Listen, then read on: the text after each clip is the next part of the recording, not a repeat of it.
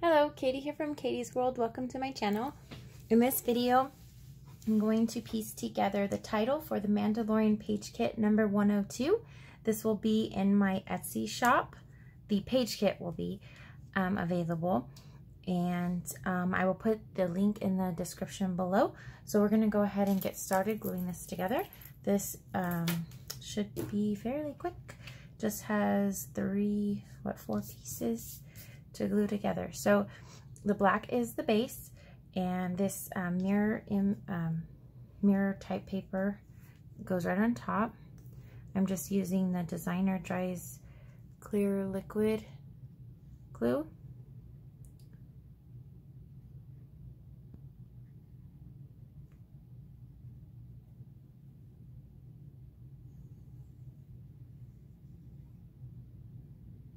And I'm barely squeezing the bottle because I don't want a lot to come out.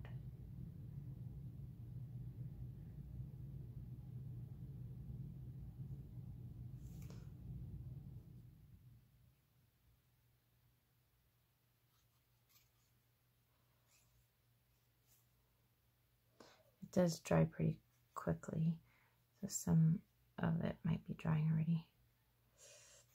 Uh.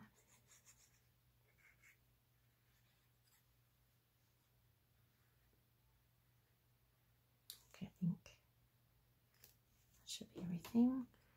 Okay, so I'm just going to center it right here on the black.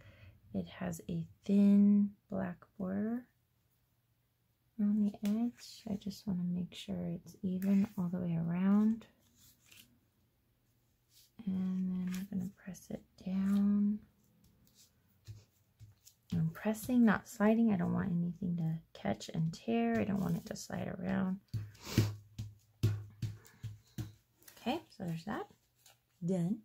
All right, now we need the center pieces for the D and the O. So in your kit, you're going to actually receive the letter D and the letter O, and that's just to help in placement. Now you can certainly just eyeball it and put it right in the center, but I like to have this as a guide if you set the D and the O in place with no glue, and then you're just going to put some glue right on the back of the middle And I'm just going to slip it right in there.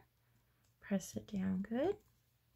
Same thing. Now this one I'm going to do it right on the cardstock. Maybe that'll be better. Pick this up.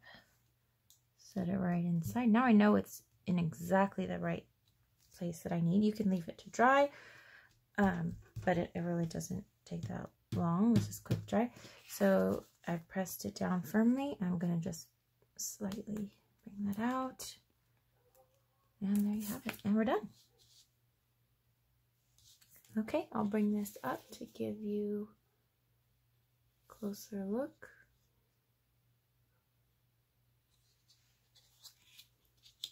Okay, thank you so much for watching. I hope you enjoyed this video. Please click the like button. If you'd like to see more videos from me, please click the subscribe button. Thank you so much for watching and have a great day.